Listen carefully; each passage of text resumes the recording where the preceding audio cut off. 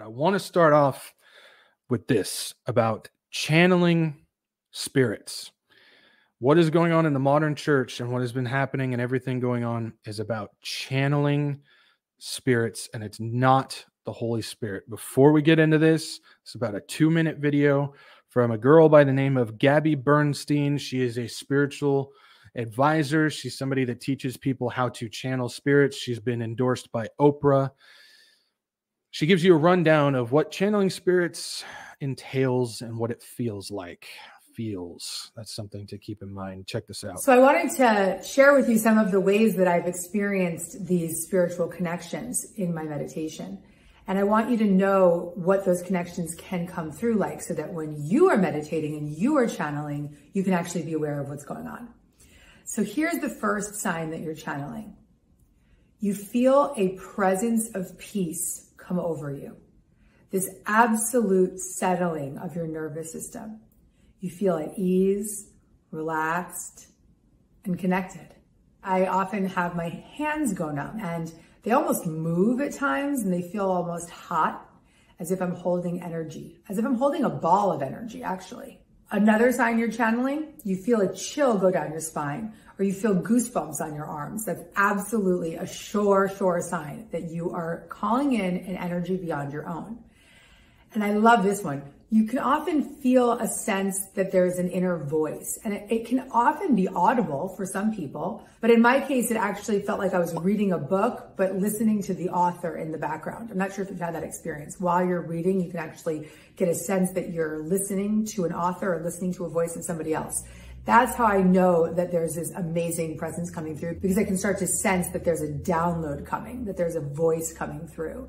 And it's not a voice that's my own. It often sounds very ethereal and it sounds very loving and soothing and connected and guided. And it's very spiritual in nature. And then what happens for me particularly is I start speaking really fast. So if I'm channeling for somebody else and I don't realize it quite yet, I'll still feel those chills come down my spine. My hands will go numb. I'll start hearing that background noise of a voice behind me. And then I start speaking really fast. And that fast speech becomes this full blown experience of allowing the voice of spirit to move through me. All right. That's channeling. That's channeling. Uh, a lot of a lot of things that she references going on in the modern church. We'll break some of that down. Just a heads up some of the stuff I'm going to talk about, some of the things I'm going to say, some of the names I'm going to mention. If you don't realize on this channel, I am under the belief that we need to call people out by name because people need to know who the wolves are. So I'm going to be doing that. Um, I want you guys to be open. I want you guys to be open to because guaranteed there's going to be some names that I'm going to say that you're going to like. And I want you guys to be aware of just who these people are. So be open to that. Don't just get angry and turn it off, which I know some people might, but be understanding of that. So she kind of went through some of the signs of what's going on when you're channeling. Now, some of the things that she's talking about is inner voice and uh, talking really fast and all this stuff. And there's something going on that I call babble tongue, which is what they're sprucing up as prayer language. This is basically where people all of a sudden just start speaking gibberish and they usually say it really, really fast. And it's about chanting words and just saying random things if you want the biblical sense of what tongues is, we're not going to get into his tongues happening today and stuff. We're not going to do that. So, not even going there. But if you want to get what tongues is biblically, tongues is there's a person with tongues and there's a person with interpretation. And how it works is they speak a real language. So basically, like if I was to have somebody come on, uh, say just randomly from like Quebecistan, and he can't speak English, I can't speak Quebecistani, whatever. I don't know what language they speak there and all of a sudden we start having a conversation back and forth. He understands me, I understand him. And then you guys would look at that and go, there's something supernatural going on here. That is biblical tongues. That's biblical tongues and interpretation. What is going on with this prayer language, this gibberish stuff that the charismatic, the NAR church is pushing out there? A lot of these, these revivals that you see with people like Todd Bentley and all this stuff, where they're basically training people to get their prayer language. It's just people going, all this stuff. They're not speaking a real language. Now, there's two types to this. One, it's just gibberish babble tongue. Two, they're actually channeling a spirit and the spirit is speaking through them. I've got both of those demonstrations right here in this video. Uh, you might recognize some of the people, but just take a look at this. Right now, from Africa right now, they're coming here. They're coming here in the name of Jesus. From South America, they're coming here. They're coming here. They're coming here. They're coming here. From Africa, from South America, angelic forces, angelic reinforcement, angelic reinforcement, angelic reinforcement. Fika hata anda ata ora bata rata anda eke eke manda rasata. For I hear the sound of victory. I hear the sound of victory. I hear the sound of victory. I hear the sound of victory. I hear the sound of victory. I hear the sound of victory. I hear the sound of victory. I hear the sound of victory. I hear the sound of victory. Karamosharadanda rabasha karabamanda diasa. shakaya. Yes, Lord, have your way, have your way, have your way, have your way. Uh,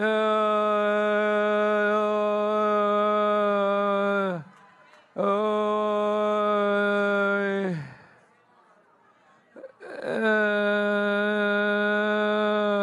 hallelujah. Oh, oh, I, uh, uh,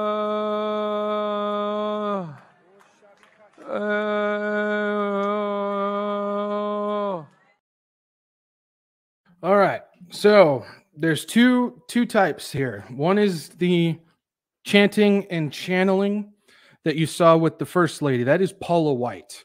Paula White is obviously sitting there. You can see she's chanting. She's being very repetitious. She had a point there where she was speaking babble tongue gibberish.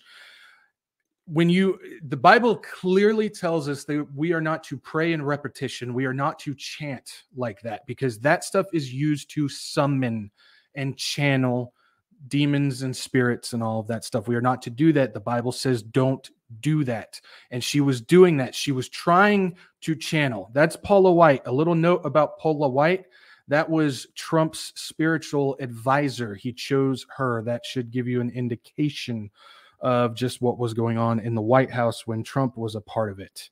Now, the second guy is Perry Stone. I know a lot of people like Perry Stone but you could clearly say he clearly see he was doing the fake thing because as he was drooling on himself and speaking random gibber stuff he was checking his phone. He was sitting there staring at his phone just making these random noises and stuff. Obviously he was putting on a show. I don't recommend paula white or perry stone. I don't. I think they are not good that's the research that I've done. And you just saw the two types where there was somebody really trying to chant and channel, and then you saw the fake gibberish that's going on. That is something going on. Now, if you want to see real, I mean, I know this this might not be good for some people, but if you want to see real fast talking, channeling spirit, well, check this out. Tata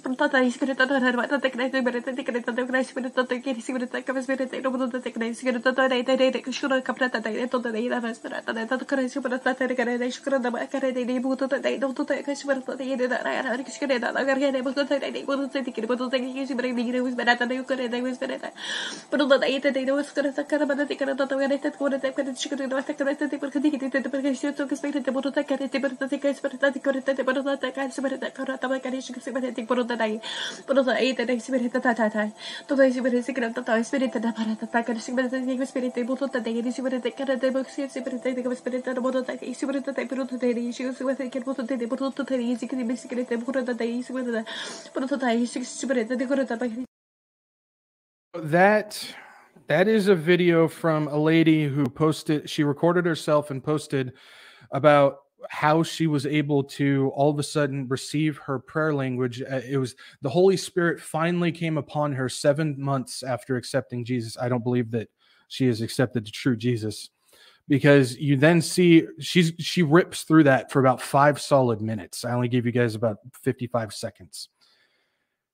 That is a lady that was clearly taken over by a spirit.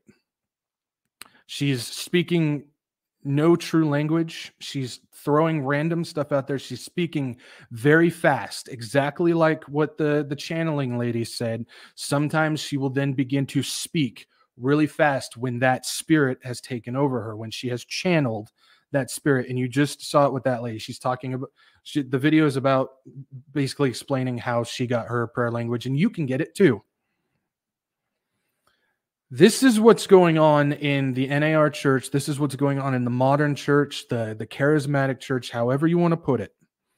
This babble tongue, this chanting, this channeling of prayer language is coming into play by a lot of people. And you're seeing a lot of these revivals out there. I can't remember all of them. When I used to have a Facebook channel, I used to find these videos all the time of people who were holding these revivals. And it was people uh, filming this guy who was going around. It was multiple people, but it was a guy usually that would walk into the crowd and he would do the thing he would put his hand on the head and like push him over and all of a sudden they'll start laughing and and speaking this prayer language and stuff. It happens all over the place where people are being falsely under the assumption that they have received salvation and the holy spirit upon them because they're doing this spiritual channeling stuff in them now, this is the biggest thing that's being done in the modern church, in the NAR church now, is where there is a false sense of security, where they're basically telling people if you feel this stuff, if you feel the emotion, if you feel what you believe is the presence of God or the Holy Spirit coming into this place or upon you, that you are saved. When in actuality, what they're doing is they are summoning and channeling other spirits in to make people feel like they, they're saved when they're not. This is that false sense of security that's going on in the NAR church now, where people believe they're saved.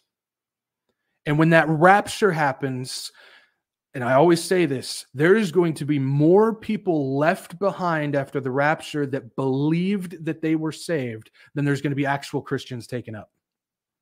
I 100% firmly believe that. There's going to be more left behind that be, that truly believe that they were saved because of this stuff that's going on in the modern church than there's going to be actual believers taken up in the rapture. I 100% firmly believe that. And it's because of stuff like this. Everybody is going off of feeling and experience. They're not going off of salvation and the doctrine that's in scripture. If you didn't see, I was tapping my Bible. You can't see it. It's right here, though. And it's all about feelings and, and all that stuff. And when you channel, what is she talking about? She's talking about feelings you're you're you're you're getting this sense of peace. It's this little voice in you that you feels like there's a, a, spiritual presence around you. You get your warm hands and you kind of start to move and sway and you go into that